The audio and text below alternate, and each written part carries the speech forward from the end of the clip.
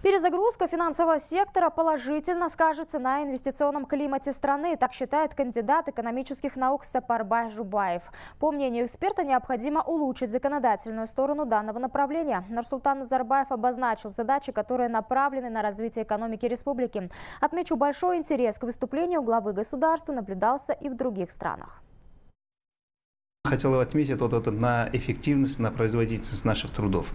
Конечно, мы очень хорошо производим, у нас э, сырье есть, э, ВВП растет, но э, чтобы быть как бы среди развитых стран, нам нужна производительность труда не только промышленности, индустриальном развитии, но и в сельском хозяйстве, и вот повысить эффективность банковских служб.